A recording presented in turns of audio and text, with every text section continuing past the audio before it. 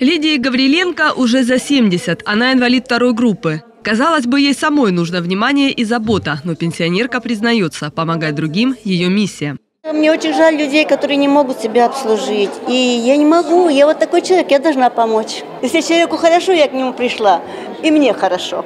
Вместе с другими сотрудниками Ворошиловского райотделения общества инвалидов Лидия носит продукты тем, кто не может ходить, тем, кто попал в трудную жизненную ситуацию. Помогают как могут, насколько хватает сил. Своим опытом серебряные волонтеры обменялись с другими добровольцами в рамках регионального форума «Старшее поколение».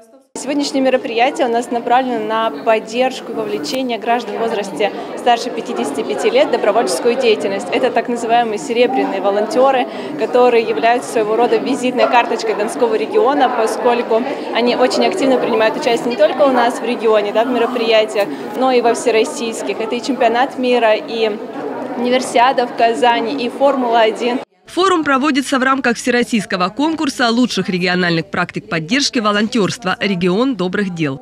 Проект направлен на поддержку и развитие серебряного добровольчества как одного из ключевых направлений волонтерства. Наталья Самойлова, Владимир Савилов, Дон 24, Ростов-на-Дону.